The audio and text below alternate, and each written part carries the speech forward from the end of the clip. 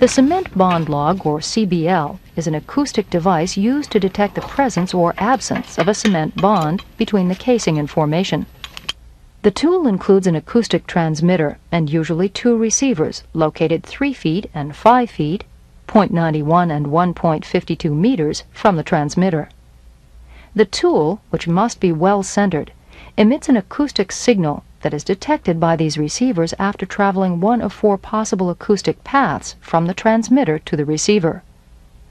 The signal through the casing is likely to be the fastest, since sound travels quickly through steel. As a result, it is the first of the four signals to arrive at the far receiver. The next signal to arrive is that which passes through the formation. The cement signal, and finally the fluid signal arrive later. Cement contacting the casing tends to dissipate or attenuate the signal energy as the signal propagates through the pipe. The greater the area of cement contacting the pipe, the weaker the signal at the receiver. The effect of a good cement job on the received signal, therefore, is to cause the pipe portion of the signal to be weak, while the formation portion is strong. When no cement is present, the free pipe rings rather loudly, like a bell resulting in a very strong signal. The amplitude curve is universally presented on CBLs and typically displays the amplitude of the first signal to arrive at the near receiver. Since this amplitude is for the pipe portion of the signal, a low amplitude indicates good pipe to cement bonding, while a high amplitude indicates poor bonding. The amplitude signal alone, however, does not reveal the quality of the cement bond to the formation.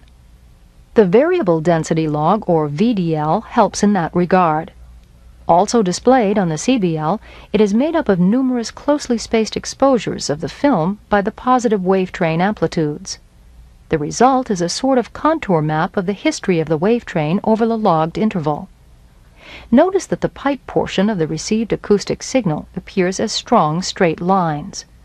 The formation signal, on the other hand, appears at different times, since the cement thickness and formation acoustic properties change from one point to the next. In an interval with a very good bond, the pipe portion of the VDL does not show up because the amplitude of the wave train is too low to expose the film.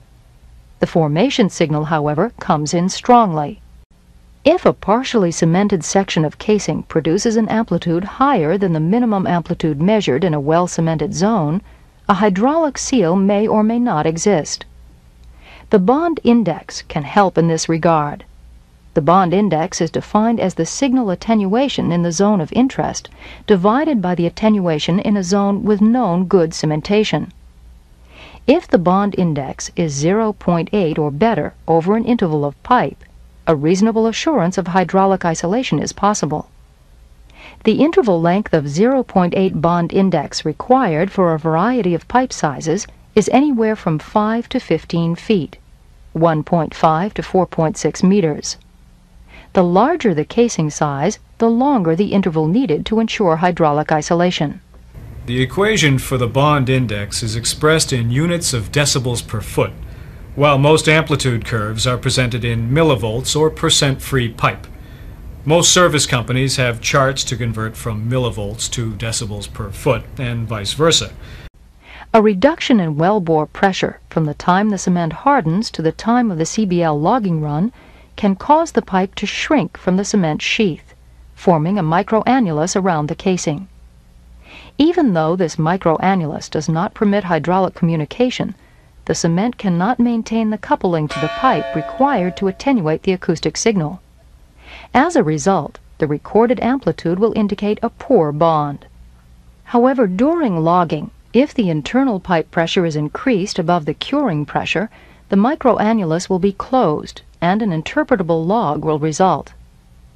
The travel time curve is the primary quality control curve on a CBL. Travel time is measured from the initiation of the acoustic signal at the transmitter to the arrival of the first signal at the near receiver which reaches a minimum amplitude level. When the signal is reduced, due to a good bond, the travel time signal stretches, since the minimum amplitude level is not reached until a later time. This is known as cycle stretch. If the pipe signal is very low, The first arrival may not reach the minimum amplitude level, but the second or later positive arrival may do so. This is known as cycle skipping. Neither of these effects should be of concern since they relate to a condition of good bonding. However, shortened travel time can also indicate that the tool is not properly centered and that the acoustic signal is traveling to the receiver faster through the shorter path on the side closer to the casing wall. Such a situation will result in an inaccurate log. Uh, even if the tool is centered, very low porosity limestone or dolomite formations have faster travel times for an acoustic signal than steel pipe, perhaps by as much as 12 microseconds. In such cases, the formation signal beats the pipe signal to the receiver and a shorter travel time is recorded. Thus, the pipe to cement bond cannot be measured in fast formations.